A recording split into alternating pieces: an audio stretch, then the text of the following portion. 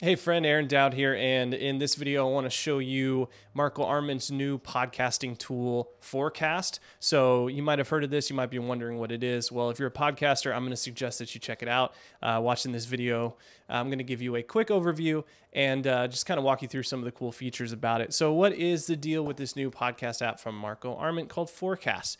So Marco just shared a tool that he's been using for a while to tag his episodes, to add chapters to the MP3 file, and to convert a uh, uncompressed .wav file to an MP3 file uh, more reliably than Logic Pro 10 does, which is the program that Marco uses and the program that I use as well. So let's jump right in. So how does this thing work? Well, obviously you need to go to overcast.com slash forecast and download forecast. And once you have it downloaded, let's see, I'm going to hide this. Once you have it downloaded, the app looks like this, and it's pretty simple, pretty straightforward. Uh, the way it works is you got to import a .wav file, add some information to it, and save it as an MP3 file. And the cool thing is, is that once you import your uh, your WAV file, if you use a similar naming convention week after week, say Marco used uh, ATP 100 for example, right here, it does uh, Forecast does some really, really cool autofill stuff, like it automatically filling in the title, the artwork, and the episode number. And it'll even remember and autofill certain URL for chapters, images for chapters, which I'll talk more about in a second how you can do that. So this is really cool. And there's some other really, really great features in here. So I'm going to kind of walk you through a workflow. This is how uh, I would, if I'm going to use this, which I actually think I will. I'm not sure I'm going to be using chapters. More on that a little bit later. But if I was going to use this, this is how I would use it. So I'm going to go over here to Logic where I already have a, uh, a sample project opened up. Okay, so in this case, if I was going to use chapters, the easiest way, and this is uh, this works in other programs, I believe as well, but the easiest way to add chapters um, to a podcast file is by using markers inside of Logic. And then when you export your WAV file, your finished project file, then Forecast will grab those markers and the timestamps for those markers and turn them into podcast chapters, which is really, really cool. And it's really easy to add markers inside of Logic Pro 10.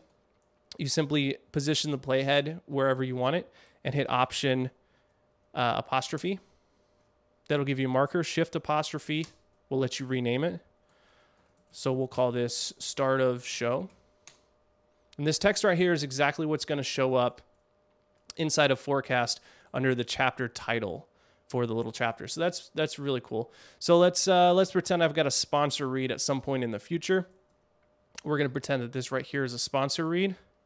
So I could uh, click right there, drop my marker, now, if your marker is not in the location that you want, for example, maybe this marker was further ahead and you needed to have it come back here and start at the beginning of this uh, sponsor read, then you can actually move the start of the marker. Sometimes I've seen this bar up here at the top be like a gray area and then you can just hover your mouse cursor over it and grab it and pull it.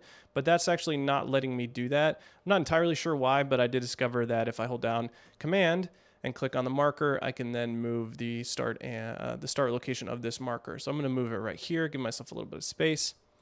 And uh, nope, that just deleted the marker altogether. Okay, let's try this again. Oh, weird. If you pull down, then uh, you delete it. Okay, don't do that. All right, gonna put that right there. Crazy. Uh, and then I need to drop another marker where the sponsor read ends, which tells, uh, which will tell forecast that a new chapter is beginning. So that'll be the length of the, the chapter from the beginning of that marker right there, which I'll rename right here. Sponsor read one. Cool. Then right here, we're going to drop another marker and call it start of next topic.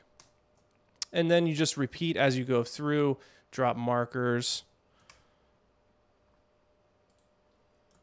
start of topic two, and so on and so on. So whenever you're done, you're going to export, uh, depending on whether you want to export as stereo or mono. I guess I'll go through that real quick. Let's see if I can grab all these and drag them back. Ah, that's going to screw that up. Okay. Uh, depending, let's just, uh, let's go with the stereo file this time. Uh, gonna hit Command A and Command B and bounce out, uh, choose the PCM wave format, 24 bit, 44 1. Yeah, all that stuff's good. Normalize on. Yes, yes, yes. And bounce this file real quick. I'm actually going to drop it into a folder called finished audio files, which will do something cool. Podcast dude, let's just call this 76.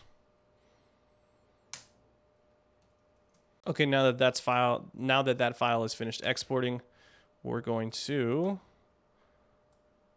huh, it's already opened that. All right. Gonna close that out. Don't save so I can show you how this works. Uh, super quick. All right, you got a wave file right here. Got forecast right here. We need to get the wave file into that. So I'm going to drag and drop that in over the uh, import audio button right here. And let's clean this up real quick. Okay, it's gonna start encoding your MP3 automatically, which is a really nice feature. This basically means that while you're doing things like adding the podcast title, the uh, the app's gonna be working in the background to finish encoding your MP3. So that uh, recording in the same room, sure. Um, so that whenever you're done playing around with all this stuff, then your MP3 will be ready to go, just like right there, which is really awesome. A feature I really like. Okay, so you basically your um, this is an episode about recording. Get podcast title, episode title, summary, and then you got the the markers here as chapters, and this is really cool. And as you'll remember, these are the same uh, these are the same titles of the markers that I dropped inside of the Logic earlier. And there's another really cool feature, which is your sponsor read right here. It's uh, 20 seconds, and you can go up here to File and uh, export a sponsor. Well, I guess I have to uh, sponsor semicolon. I think that's a naming convention. Yeah, there we go. So as long as you have a sponsor semicolon right there, does that only work with the semicolon? Yeah, I guess so. All right, cool. Take note. Uh, you can export, come on you can export uh, sponsor air check, which is basically just a single file with that sponsor audio, so that you're uh, you can send that to your sponsors and they can listen to how you did uh, selling their product or service on your podcast. Pretty cool. And then you can also drop artwork for each of those chapters. Really, really cool. And then uh, you obviously want to drop your podcast artwork into this thing right here. Whenever that's done, you'll see the length right here. You can copy the length, copy the megabyte, the size of the file. You can select your encoding. In this case, 96 kilobytes per second is pretty solid. And then when you hit Command, that's going to re-encode it. Cancel. When you hit Command S, you have the option to save your MP3. I'm going to save this right to the desktop. And boom, there it is, ready to go. So you want to notice right here, this is something I noticed. I don't know how important it is, but Forecast basically added some of the MP, some of the ID3 tags. That's wrong. Uh, some of the ID3 tags, but not all the ID3 tags that I normally add. And I don't know if you have to have all of these ID3 tags, but when I first started podcasting, this is just something I learned. I use an app called Tagger before. I think I'm going to switch, but you'll notice that if I drag and drop this here, we're missing the uh, episode or song number. We're missing album artist. We're missing composer and genre. So normally the information I fill out looks like this. No, that's not right either. So this is going to be the podcast dude. It's the name of the show. And then composer's me. Yeah, so this is uh this is how files normally look when I upload them. Like I said, I don't know if you have to have all of those uh that's weird. I don't know if you have to have all of those tags, but I'm going to look into it a little bit more and let you guys know. But yeah, overall, I really, really like this app. I, I like a lot of the features. Uh, I did a, a, speed test to see how long it would take to bounce an MP3 episode or an MP3 file from Logic versus exporting a .wav file and then converting it to an MP3 inside of Overcast. And I found that um, doing it that way, exporting a, a WAV file from Logic and then converting it to an MP3 in Overcast is slightly faster than exporting an MP3 from Logic. Um, and also, there's this thing that's been happening to me over the, the past couple of uh, months or maybe years where a lot of the times, maybe two out of 10 times, um, Logic will export some kind of corrupted MP3 file. Like there'll be silence or it'll be, the audio will be messed up and garbled. Like I don't know what's going on. I used to think it was something to do with Dropbox or whatever else, but Marco's been having that problem. I've been having the problem of Logic spitting out uh, exporting corrupt MP3 files, which is a pain in the butt, which means I have to go back and redo them. So if Forecast solves that problem for me, that's going to save a significant amount of time for me, you know, maybe 10, 15, 20 minutes a week or more, depending on how many podcast episodes you bounce.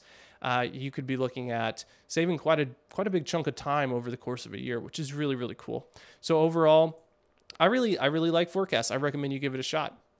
Okay, two final things before we go. Uh, I wanted to show you how I'm, I'm, I'm gonna I'm gonna play around with using Hazel to set up some cool rules to uh, basically anytime a file gets dropped into this finished audio files program, uh, I want it to open that file with forecast. So I'm to go over here and quit this. I'm not to save it. And I'm going to show you the Hazel rule real quick. So if you have Hazel, uh, then you can do this. If you don't have Hazel, you need to go buy it and download it. It's usually like $30 and uh, worth it because it allows you to give some, do some cool things. Okay, so I set up this rule in, inside of this folder um, I hit plus and selected this folder that I called finished audio files.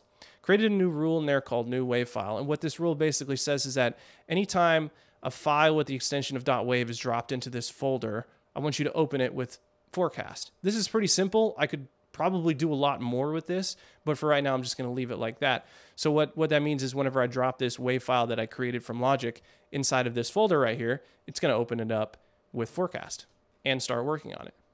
So this is cool because it, that means that whenever I bounce a new file from Logic into this folder or any other folder I choose, I can have it already open up right here.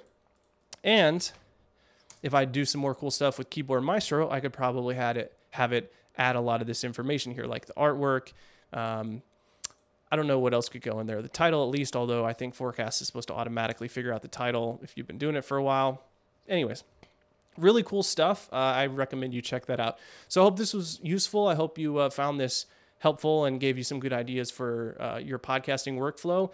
Getting efficient at this kind of stuff can really save you a lot of time, especially if you produce podcasts a lot. So overall, I really recommend you try out this app, this forecast app, which you can find at uh, what is it, overcast.com slash forecast. Yeah, overcast.com slash forecast. I want to say thank you to Marco Arment for sharing this tool with the podcasting community. This is a really cool thing. I'm really excited to see how he develops it, if he adds some more features, and just, you know, Marco's always doing cool stuff. So thanks, dude. We appreciate you. All right. So again, my name is Aaron Dowd. Hope you enjoyed this. You can find me around the internet as the podcast dude, and I'll see you next time.